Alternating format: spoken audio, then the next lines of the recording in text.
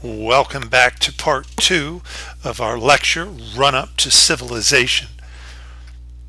Forgive me if my voice seems a little raspy today. I bet yours does too, if you're living with the generally horrible air quality that most of us are at this moment uh, in the state of California. Hopefully, if this lecture survives in a few semesters, uh, students of the future will be wondering what we were talking about. But uh, I'm guessing you know what I mean. So as we talk about the environment and air quality and fires and that sort of thing, we're reminded that for our entire history on Earth, human beings have developed very specific relationships with the environment. And the one that we're talking about in this lecture here, agriculture, is a really good example of that. In other words, agriculture was not something that just happened. I mean, if you read certain mythical accounts, it, it may seem like that. But from a historical perspective, agriculture had to be invented. That is, farming had to be invented. And the question we've been asking is why? And at the end of the last uh, bit of part one, I suggested that you really need to see this radical change uh, from foraging or what we call hunter-gathering society. Small scale, small units, social units, you know, couple dozen, maybe three dozen people forming a band, um, you know, or a clan, some kind of, you know, uh, ancestral connection between peoples who, who compose the basic social unit. Now keep in mind with agriculture, all of that's going to change. And so when we think of uh, large urban areas, for example, in California today, uh, a city like San Francisco, you know, that gets shrouded in wildfire smoke.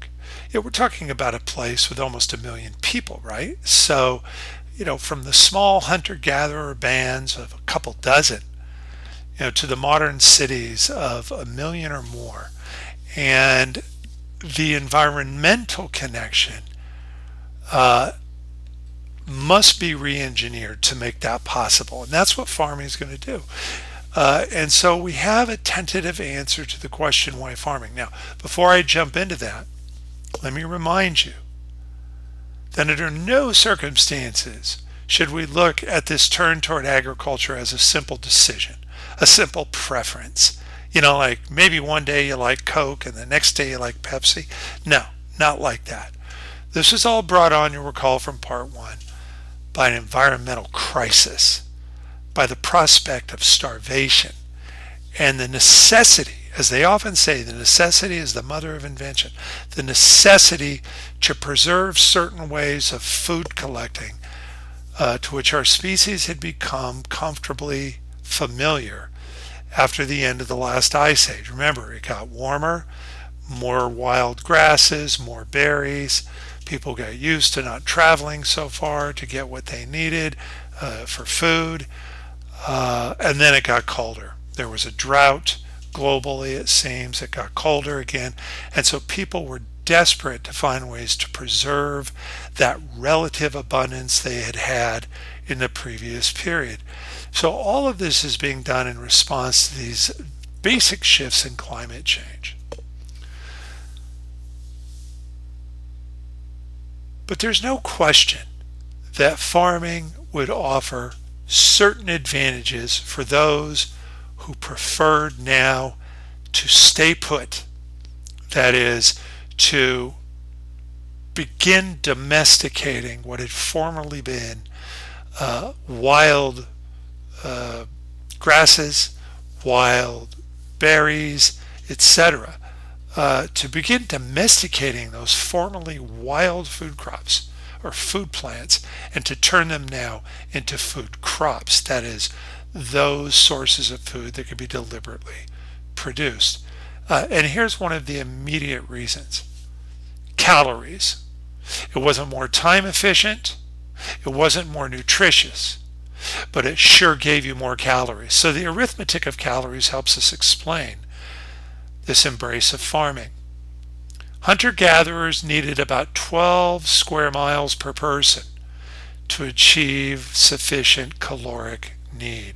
That is, to have a sufficient amount of naturally grown wild nuts, fruits, berries, and grasses uh, to be able to subsist, or for that matter, uh, animals that can be hunted for meat protein. What agriculturalists will determine is that farming gives five people enough calories if you have just one half square mile of arable land.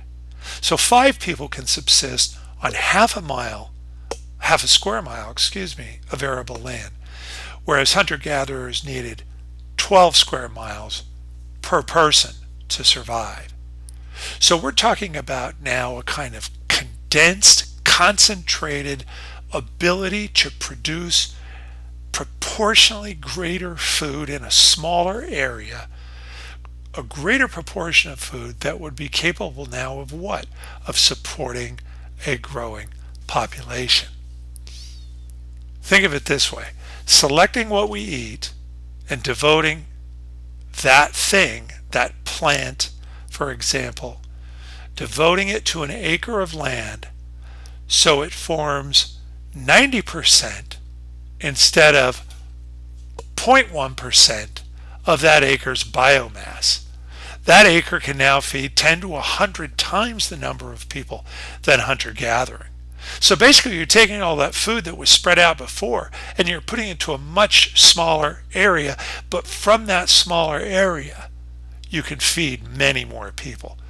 No wonder it must have seemed like a miracle because it inverses all the relationships. Before, fewer people needed more land. Now, more people need fewer land at least for food production. The miracle of agriculture, you might say. That's why we call it the agricultural revolution, for that reason and other reasons that we're going to see. Now, again, when I use words like miracle and revolution, am I necessarily suggesting that mankind is better off for having done these things? Well, if you've been paying attention, you're going to know that I want you to withhold your judgment. Because as we'll see, more money, no problems. In other words, you create progress, you create new problems as well. There are no easy fixes in human history. Now, there were more domesticatable animals, however, if you were willing to tame them, herd them, tend them in the same local area. Here's what I mean. There are a certain number of animal species in the world, and the number really hasn't changed very much from 10,000 years ago, that are actually domesticatable. I mean, think about it. Think about the big carnivores of Africa. You know, the lions, uh, the, um, the cats, the big, the big, the big predators, right? In, in, in Africa, they call them the big five. Uh, and lions obviously at the, at the top. But so too like hyenas and wild dogs. Heck, even hippopotamuses kill more people every year uh, than uh, virtually any other single animal species uh, in Africa. But you never see any of those predator animals. You know, you never see a leopard, for example, which is one of the big five. You never see one with a saddle on it. You know, you never see one herded in a corral, you know, unless it's some goofy Tigerland exhibit, you know, but not in the natural, uh, not in the natural world. And by the way, there's a real difference even between uh, those who claim they can tame big cats, right? Uh, and those who say they can domesticate them because you can't domesticate them. You might subdue them through feeding, uh, but that's uh, more like uh, a kind of nominal taming. taming. You're not domesticated. Domestication means that you have essentially conditioned these animals to accept the condition of the herd and to accept your dominant status, you as the farmer, you as the herder, uh, over them. And there's really only a few. Uh, you got goats and sheep, pigs, cows, you know, horses, right? But not that many really. Llamas, okay, dogs. Uh, but those populations, those few species that could be successfully domesticated, will provide an enormous benefit in terms of calories and not just calories, but as we'll see, a kind of secondary products revolution as well. Their furs, their skin, their bones, all, all aspects of the animal can now be used uh, by pastoralists, by herders, by farmers. Animals are converted in edible grasses. We can't eat those grasses, but cows can. Turning inedible grasses into meat, milk, clothing, even labor you know, to the extent you can put a harness around an oxen or a horse and have it pull a plow, you know, you're getting, you know, double the bang for your buck. And heck, even the fertilizer that comes from them, right? The manure they produce could be then used in the uh, growing of those food crops that we were talking about. Adding organic nutrients to the soils, in other so we have to think of the agricultural revolution as both plant-based and animal-based. And in both cases, the key to understanding it is domestication. In effect, making nature work for the specific benefit of humankind. The domestication of horses, believe it or not, initially done for food. You know, for many years, I had a little cartoon uh, pasted to my office door where there were like these two sort of Paleolithic type, two caveman types. Know, one guy sitting on a horse, another guy standing on the ground. And the guy on the ground's looking up at the guy on the horse and he says, You know you could eat that. We don't always think about eating horses these days, but horses were originally domesticated during the agricultural revolution, starting about 8,000 years ago, uh, for uh, as a food source. Uh, but then, of course, also became useful in that secondary products revolution uh, beyond meat uh, as a beast of burden and ultimately as a mode of transportation. So horses, yeah, well suited to work. And as we're going to see in the turn towards civilization, as this ancient panel from Mesopotamia, 5,000 year old panel, this thing is as old as the ancient uh, pyramids of, or the pyramids of ancient Egypt, shows the other adaptation now that mankind will make for horses, and that is in war. Uh, for many, many centuries, millennia even, the horse will be one of the single most powerful and advantageous weapons on any battlefield, whether it was being ride, ridden, uh, that is, by a, cavalryman, or pulling, as you see in this case, a four-wheeled cart, a war cart. Uh, and the author of this design, this 5,000 year old panel, shows the effect because here he has some hapless victim simply being run over uh, by these domesticated animals of war, horses. So yeah, this is this is going to have far-reaching effects. It's not just about filling your belly, uh, but as you can see, uh, the sneak preview here says it's about organizing human society on a very different basis. It's about asserting power. This was from the ancient Mesopotamian city of Ur. Now, Mesopotamia is that land we know today as modern Iraq, the nation of Iraq. Uh, the land between the rivers is what the Greeks meant by Mesopotamia, the Tigris and Euphrates River. And it was in the southern part of Mesopotamia where the Persian Gulf meets the, the marshes of uh, modern day Iraq uh, that the first great civilizations, agriculture based civilizations, uh, will find their organization. We'll have a lot more to say about some of those ancient civilizations next week. Uh, perhaps war encouraged some to control the labor necessary for agriculture. Yeah, we kind of skipped a step. I went straight from domesticating the horse to warfare, but there's something in between.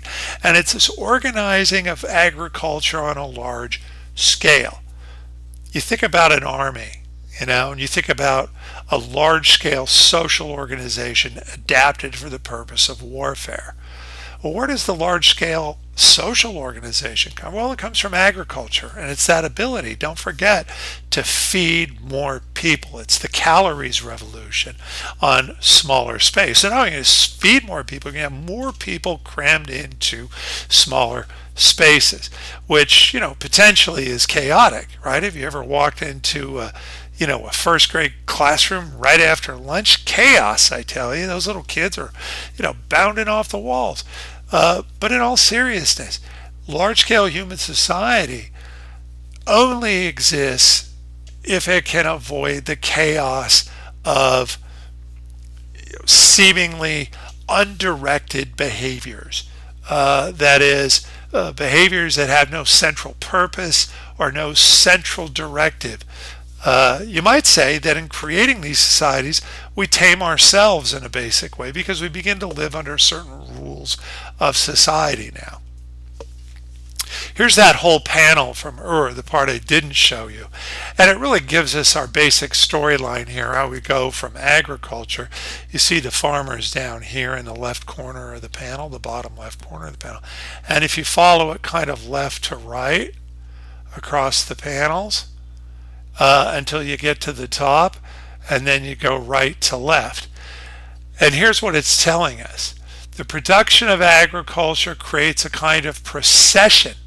Uh, we're left to right here. Creates a kind of procession uh, of agriculturalists, of farmers, of herders, bringing their produce, bringing their animals. Where are they bringing it? Where are they going?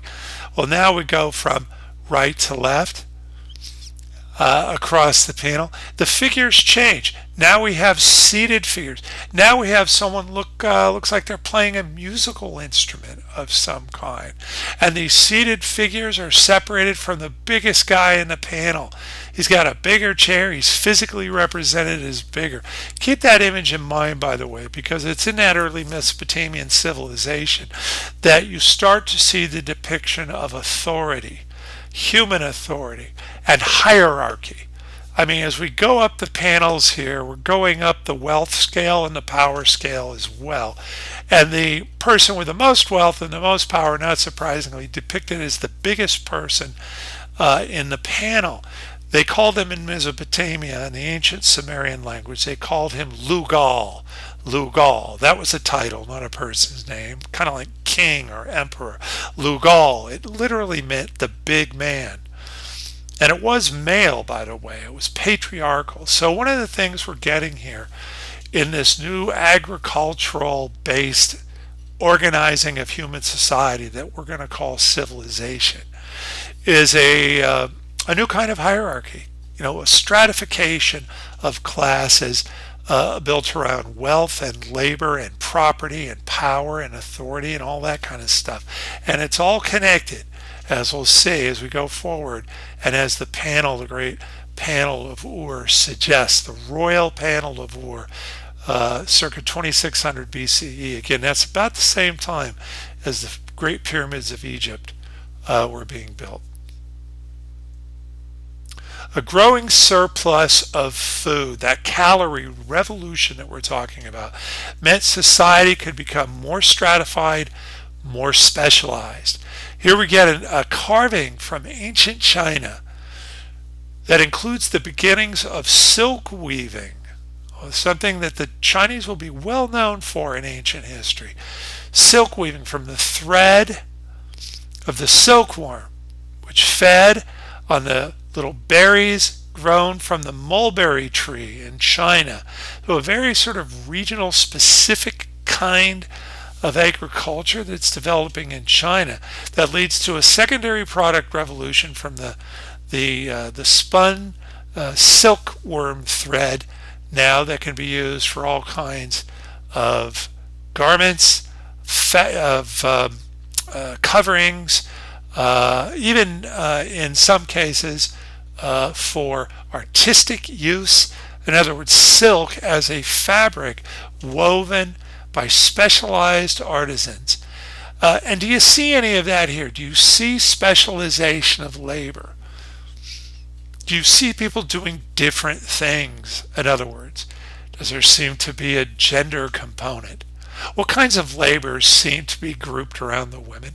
What kinds of labor seem to be grouped around the man? And in the background here, notice the peasant, uh, the, the cottages, right, uh, are also suggesting concentration and village society.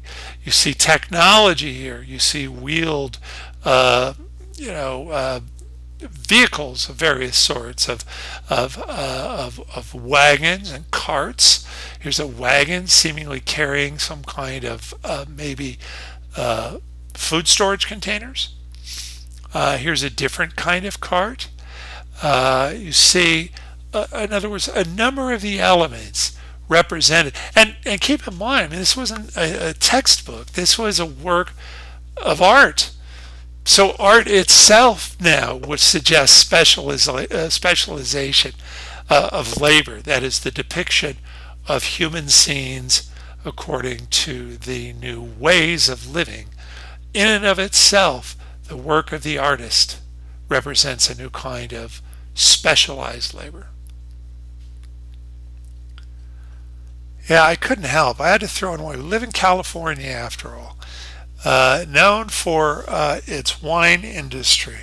By 4000 BCE, that is 6,000 years ago, 4000 BCE, domestication of crops included vine grapes and fruit trees, including plums, apricots, most of what you see in your produce section actually, and the process of fermentation for drinking. So taking those fruit crops like those grapes, learning through a process of elementary chemistry. So the development of, of scientific understandings, right? The fermentation process, separating the sugar, for example, from the fruit, uh, turning it into alcohol, uh, fermented, uh, that is, in a drinkable form. Yeah, 6,000 year old winery found here in Armenia that is the region uh, that is north uh, of today's modern day Turkey. Here's Turkey and Iran. Here's Armenia. Uh, Mesopotamia, we were looking at a minute ago, would be just south of that. So what does that suggest about the agriculture? Well, I mean, look, you get a good buzz off of wine. You know, it makes you a little loopy. It uh, can, you know, sort of immunize you, at least in the moment, from certain cares, certain pains. Um, of course, sobriety returns, but one thing our human species will prove itself friendly to was that altered state, that altered consciousness, that altered physical state that the wine grapes and other fermented uh, crops could provide. Uh, not surprisingly, if you got wine, you're going to have beer. So the brewing of, of beer from the barley grains grown down in Mesopotamia, one of the earliest sort of liquid concoctions. Yeah, so among other things, we get, you know, getting high, uh, getting altered. That's also part of this early turn uh, now, I, I, suppose that our Paleolithic forebears figured out ways to do that as well. But what agriculture is going to accomplish is a kind of systematic approach to things like wine production and beer production. People were making wine here well before there were pharaohs in Egypt, says one of the uh, historians in the featured article. It also suggests that there is a kind of intermediate step between that domestication of food crops and large-scale society, what we call civilization. In other words, we don't just simply go from hunter-gatherer to you know, food grower, domesticator of grass crops or you know, of wheat or barley or something like that to living in huge urban societies there's a kind of transitional or evolutionary process here. So, for example, uh, what we call proto-civilization, yeah, I agree, that's kind of an academic term, but proto just means early form of an early form of civilization in Europe by the 5000s to the 3000s. This is still what we call the Neolithic period, the period of agriculture, uh, but well into it now. Remember, if we start the agricultural revolution about 10,000 BCE, now we're into the five, so better part of four to 5,000 years. You know, that's that's considerable, right? Amount of time uh, it's an eye blink in the overall scale of time of our species history. But history is going to start speeding up. But nevertheless, 5,000 years, considering we lived in the Industrial Revolution only 250 years. But what we get is this proto-civilization. We see it in different places. We see it around the Mediterranean. We see it in what we these days call Europe. Remember, nobody called it Europe then. It hadn't been invented yet. Uh, but we can refer back retroactively now to old Europe, uh, and particularly what is now the Balkan region and Central Europe. You begin to see uh, evidences of people, well, settling down you know, of turning toward agriculture more intensively, creating those uh, village scenes that we saw in the Chinese artwork a minute ago, you know, with peasant homes and huts. The, the whole idea of a home, you know, a place that you invest in, you don't plan on moving. It's not a it's not a tent, it's not a teepee, it's not a yurt. It's something that might have a foundation. It might have plaster walls. Uh, you're investing in it uh, as a place where perhaps a family will return each day, year in, year out, through the seasons. So we start to see evidence of this. And, and not surprisingly, we start to see things that go in the home. You know, little figurines, little um, sort of votive figures. They may have had particular spiritual meaning, for example. Uh, different kinds of pottery and earthenware and vaseware. Uh, and here are all these really cool little figurines. Again, may have had some kind of um, you know ceremonial attachment to them, right? But these all suggest not only uh, division of labor and specialization of skill to make these things, you know, but a kind of consumer base for them, a need for them. Uh, uh, uh you know, people who wish to have them and, and will trade. We we don't have evidence of anything like a cash economy yet. It seems to be mostly barter and small scale manufacturing.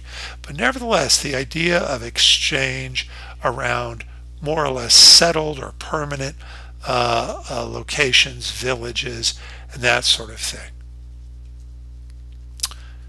Scholars call it Old Europe in this case. Again, just some of the physical artifacts that have been found. You know, we said in the very first lecture that history is dependent on evidence. In this case, physical artifacts. Artifacts meaning things that were produced in the past that have been recovered. Literally, in most cases, dug out of the earth, right? In this case, a copper bracelet. One of the first technologies to utilize metal ores was copper smelting. So taking a metal that's found in the ground, heating it, pounding it, reshaping it, in this case very intricately, into a bracelet form. Another kind of specialized labor. Another kind of aesthetic ideal, I mean by artistic ideal. Uh, the thinker figure here because he's got his head resting on his hands. The female figure reminds us a little bit of those Venus figures we saw in the Paleolithic age. But the work here is becoming more sophisticated. Note he's sitting on a little stand, you know, or a little footstool of some kind, right? She has her arms extended on her knee is propped up. There's even the beginnings of expressionism in their faces facial expressions suggesting maybe emotion or thought of some kind. So the skill of the artisanal work is becoming more sophisticated, more technological, the beginnings of chemistry and metallurgy and that sort of thing. All of it happening in this period, this Neolithic period before the full advent of civilization. Specialization and surplus also made possible the accumulation of growing wealth. Uh, you know, I've I've told you, and I want to repeat as often as necessary this semester, we're not studying some ancient past that is dead and gone. We're studying our own ancestry. We're studying our own genealogy here. And I don't just mean in some abstract way. Think about this for a second. The accumulation of great wealth. I mean, if you, if you had to summarize the United States of America in four words or less, I mean, you might go in different directions on that. But accumulation of great wealth, that would definitely be one of them. It's already happening 6,000 years ago as these social organisms get bigger, more concentrated, more sophisticated, as the ability of uh, our ancestors to manipulate and re-engineer environmental processes, processes through domestication, whether it be foodstuffs, you know, animals, or whether it be through elementary, uh, you know, chemistry and artisanry uh, the creation of new forms of tools, uh, everything from tools to jewelry, really, including the structures we live in and around, and, in the ruins here from ancient Persia and the royal capital of the ancient uh, Achaemenid Persian Empire. You can still visit today. I mean, you know, they really built some of this stuff to last, you know, and it's monumental scale right? You see the human figures down below. The monumental scale of it is also going to be a testament to the growing wealth, that is, the growing resource base and the ability to muster together more resources than ever before to bring on what will become increasingly elaborate public works projects. But if you flip that coin over, and I like the coin uh, metaphor because it relates to wealth. If you flip that coin over, what's going to be on the other side of wealth? There's going to be inequality. In a way that mankind had never quite uh, experienced before, a kind of engineered form of poverty. Look, hunter-gatherers would never have been confused for what we, you know, think of as the wealthy uh, set uh, today, I mean, hunter-gatherers lived simply. They had to. Uh, their needs were basic. Um, but they didn't consider themselves to be poor. Poverty is an invented idea. And you can only have it if you have what? If you have its opposite, if you have wealth. So with great wealth then will come great inequality, including the engineered type of inequality like slavery here in ancient Egypt. You know, society gets stratified in a number of different ways. You get people doing specialized labor. Some are farmers, some are artisans, some are soldiers, some are, you know, grain collectors and accountants. Some are even, you know, kings and rulers. But some are slaves. Slavery was an invention of civilization made possible by the agricultural revolution. Think of it again as the flip side of wealth. It's, it's not that there wasn't any inequality previously in history. There were, well, differences in status, perhaps within a hunter-gatherer band, a forager band, uh, maybe between male and female, maybe between old and young. But these were mutable categories, you know. I mean, the young, they got old. Uh, you know, young men became old men. Young women became uh, mothers, became grandmothers. But slavery was a category that was formed and fixed by design to create lasting, if not permanent, inequalities. Nothing like that had ever happened or existed because there wasn't a material basis for supporting it. In a way, slavery was a great indulgence because for every slave, there had to be enough food to feed that person. And so only with agriculture and the calorie revolution could you create these new systems of inequality like slavery. Tragic, but true. And it's one of the reasons why we ask, was agriculture a good idea? And before you tell me, of course it was. It could feed more people. Remember that groaning earth?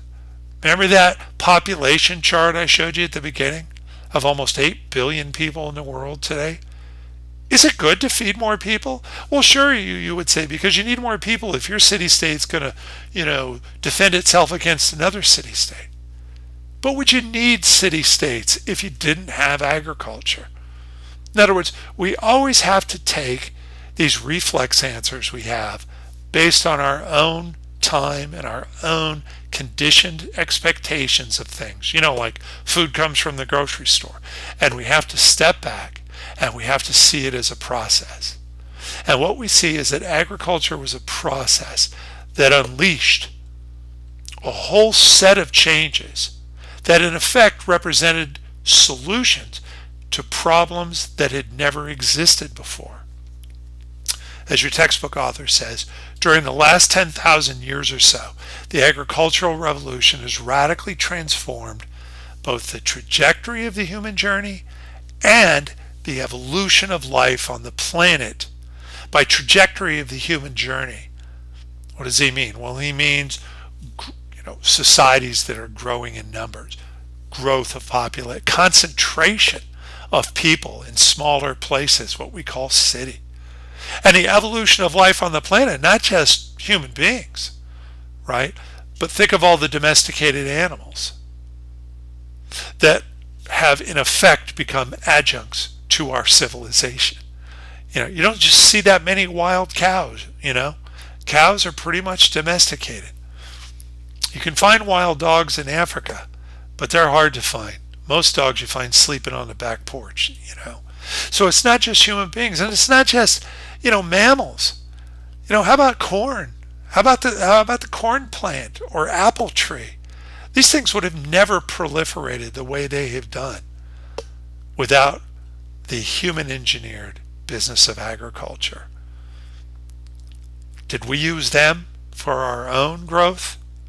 Or did they use us? Did the apple tree choose us to proliferate its own fruit? I don't know. It's a good question. And whether it was a good idea or not, here's a map. That's what you're looking at here. It looks kind of like a checkerboard, you know. It's actually a map. Uh, at least the reconstruction of a map and landscape painting from a settlement known as Çatalhöyük, one of the very earliest villages, human villages, in the Neolithic period that has been excavated in modern day Turkey, dating back to about 6200 BCE. Think about that now. That's 8,000 years ago. 8,000 years ago, Çatalhöyük became one of the first assembled villages, as far as we know, based on the evidence that we have, based on the archaeological finds there. And one of the things that was found was this image emblazoned on a piece of animal hide. And what it showed was a rudimentary map of the village. All these squares you are looking at are assembled spaces, constructed spaces in the village where you would find domiciles, that is, homes, you know, peasant huts, and that sort of thing that were becoming a permanent fixture now of the human social uh, landscape. There was even an area where the real estate now was marked off for farming, a place nearby the village where the farmers would go each and every day. Well, okay, but what are we really looking at here is a kind of satellite view of a very early village, a view from above, looking down. But think of it another way, too. Think of yourself on that ground. What would it look like from ground level? That is the view, say, from Çatalhöyük by one of its inhabitants versus the view of, say, an earlier hunter-gatherer. A hunter-gatherer might have looked around and seen a few rudimentary structures, maybe a cave where people took shelter, but otherwise a pretty much wide open landscape that appeared in its organic sense. But now in Çatalhöyük, you look around and what do you see? You see engineering everywhere you look. You see a landscape transformed. You see boundaries of things. Things assembled in predetermined fashion rows of things, blocks of things, lines of things. A new kind of human geography, uh, you might say, imposed on the landscape. Were we fencing nature in, or were we fencing ourselves in?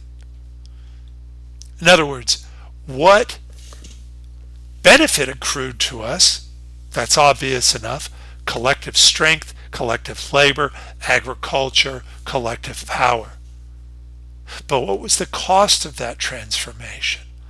Loss of independence, loss of space, loss of free roaming direction. Yeah, roaming is almost a bad word in our society now. It's the thing the phone company charges you a lot of money for, right? This is all a new habit of thinking, is what I'm saying. This business of organizing ourselves into settled geographical locations such as villages. And the problem is only going to get more intense the bigger the settlement becomes. By the time we get to the cities of Mesopotamia, you know, we're going to see this existing almost on an exponential scale. Yes, there are benefits, at least those innovations and such that we like to think of as benefits. But yes, there will also be costs. And so, uh, my friends, what I'm suggesting here is that when we look at human history, for every step forward, there is a corresponding price to be paid. Nothing comes for free in history. So what we are doing this semester is we're, we're watching essentially now going forward a 10,000 year long dance between human beings and the environment, between human beings and animals, between human beings and that which the environment can provide in a form of food crops, but also building materials and excavated landscaped spaces. Between human beings themselves, there's going to be a dance. You know, when we looked at that war panel earlier, you know, the two panels from Mesopotamia, look at uh, look at them again, are the, the peace panel on the one side, but the war panel on the other. So the relationship if, uh, between human beings, between peace and war, is also now part of the bargain going forward. And how did the implication echo in our own lives today? That is, from Çatalhöyük 8,000 years ago to our own Google Earth. How does that view from above look now? Yeah, seems familiar, doesn't it? Okay, everybody, that's all for now. That was part two of our run up to civilization. You guys are watching the Jared Diamond video this week uh, and looking at that transition uh, to agriculture. Some really fantastic insights in that video uh, that I'll be uh, eager to read about when you do the homework assignment based on Jared Diamond's Guns, Germs, and Steel.